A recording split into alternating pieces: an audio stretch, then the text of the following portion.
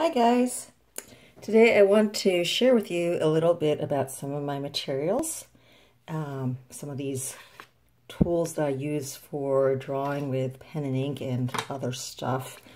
And I also wanted to share with you this booklet that just arrived from the printers. So let me show you this first before I get down to the tools. This is a little sketch booklet, my latest one that just came from the printers. It's called Wayfarers from the Sketchbook. And it contains all the concept art that went into the most recent Kickstarter that um, was created for the miniature line that Dark Sword, Dark Sword Miniatures does of my artwork. And I had posted some of these images on my social media, and people were expressing interest in having a collection of them.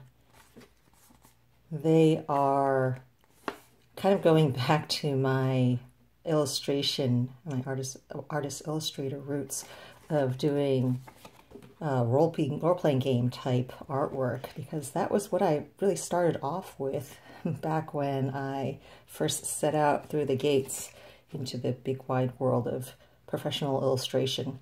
I was doing a lot of work for RPG game companies and this project in particular was kind of fun for me because it gave me a chance to go back to doing that uh, and in in a way that was my vision still.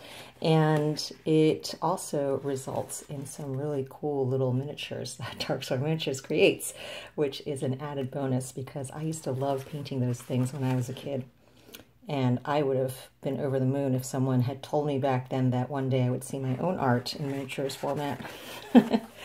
so anyway, that's that's what this booklet is. And you can find that on my website at shadowscapes.com. Now, that aside, I want to show you some of the original art that went into it as well. This is the original watercolor painting. Pretty straightforward watercolors. A lot of Daniel Smith pigments, which causes this nice granulation texture that happens in the background. Get a little closer, you can see that. And the, the drawings themselves were done on this toned brown paper. I believe it was Strathmore, although I'm not quite certain on that. I don't have the pad any longer. I think I used the entire pad for this. And it's it's a cold press. It's got a little bit of a tooth to it, a little bit of texture. And on it, I worked with this Pentel art brush. This is a brush pen, and I love this brand because it has this wonderful, nice, fine point tip.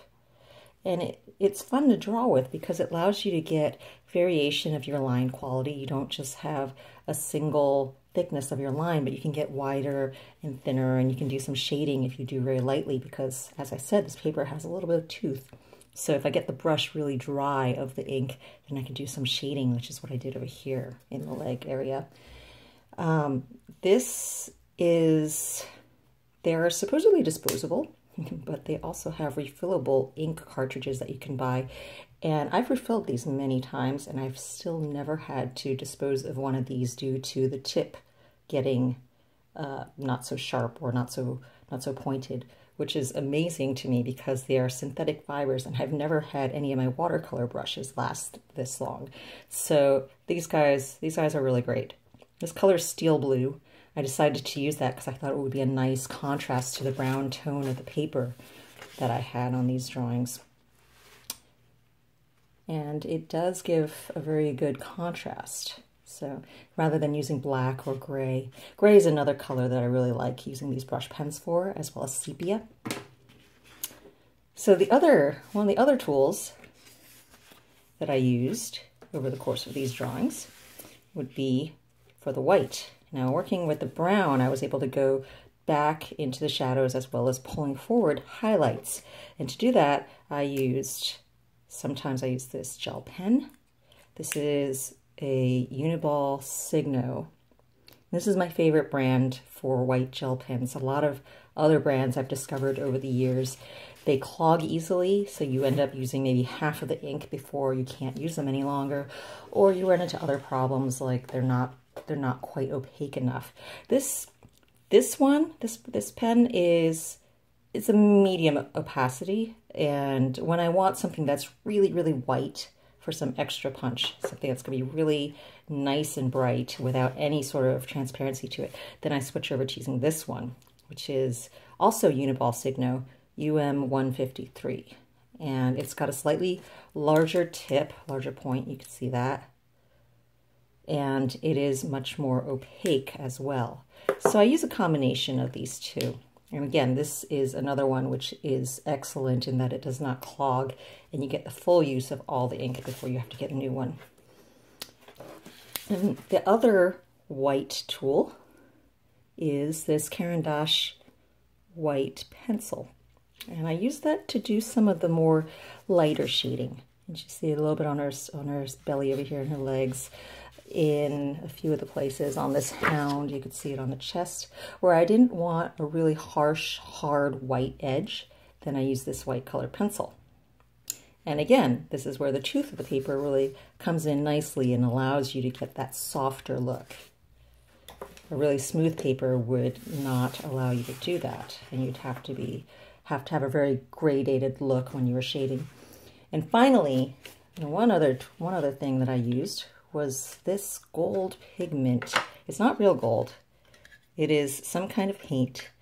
It's Japanese in origin. That's about all I can tell you, unless someone can read that there, because there is really no branding label on here. I got it at my local Dick Blick store, and it comes in this little porcelain dish. It's a very thin layer of gold pigment that you just use as you would watercolors. So you just wet your brush, dip it in there, and then you can paint with it. So there you go.